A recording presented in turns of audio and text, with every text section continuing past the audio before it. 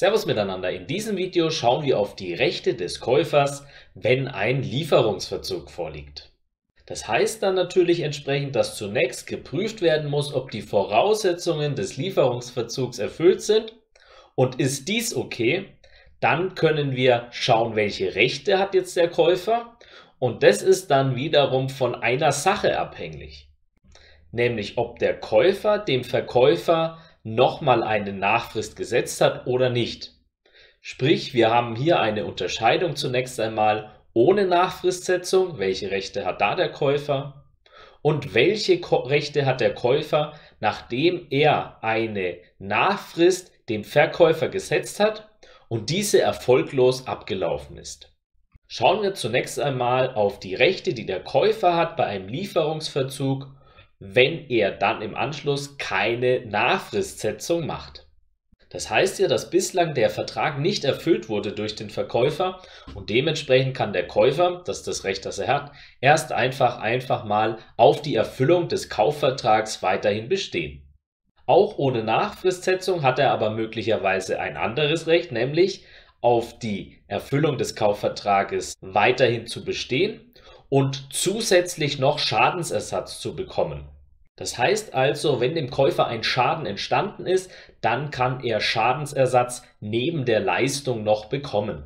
Dadurch soll der Käufer dann in die Lage versetzt werden, in die er vermögensmäßig eben gewesen wäre, wenn es zu keinem Lieferungsverzug gekommen wäre.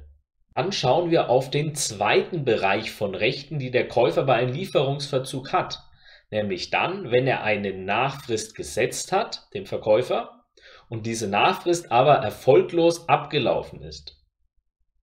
Diese Rechte, die wir uns jetzt anschauen, hat der Käufer auch in einigen Fällen ohne Nachfrist, nämlich dann, wenn es sich um einen Fix- oder Zweckkauf handelt oder wenn der Verkäufer quasi von sich aus gleich die Leistung entsprechend verweigert oder es gibt hier auch noch andere besondere Gründe, wo dann eben die Rechte durch den Käufer geltend gemacht werden können, die wir uns jetzt anschauen. Das erste Recht, das zutreffen kann, ist der Rücktritt vom Kaufvertrag dann. Das heißt, der Kaufvertrag wird sozusagen rückabgewickelt. Das, was alles schon passiert ist, wird rückabgewickelt. Also wurde schon Geld bezahlt, dann wird das wieder entsprechend zurückgezahlt und so weiter. Das zweite Recht, das der Käufer dann möglicherweise hat, ist der Rücktritt vom Kaufvertrag plus einen Schadensersatz. Und dafür muss dem Käufer natürlich entsprechend auch ein Schaden entstanden sein.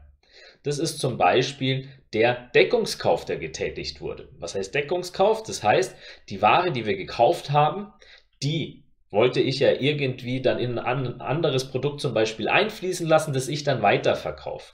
So, jetzt war es mir natürlich wichtig, trotz des Lieferungsverzuges die Ware, die ich herstellen wollte, weiter zu verkaufen. Ich habe also Ersatzware beschafft, die dann möglicherweise teurer war.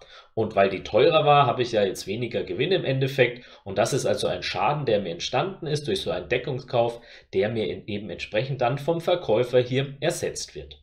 Auch der Ersatz vergeblicher Aufwendungen ist hier denkbar.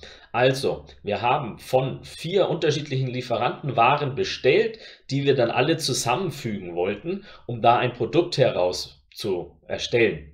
Jetzt ist entsprechend diese eine Ware nicht eingetroffen und damit ist dieses ganze, der ganze Plan quasi nicht mehr aufgegangen. Das heißt, ich habe Aufwendungen gehabt, weil ich habe auch bei drei anderen Lieferanten Waren gekauft, die ich dann zusammenführen wollte und das sind dann also vergebliche Aufwendungen und auch damit ist mir quasi möglicherweise ein Schaden entstanden. Und dann schauen wir jetzt noch eine Runde in die Zusammenfassungsfolie.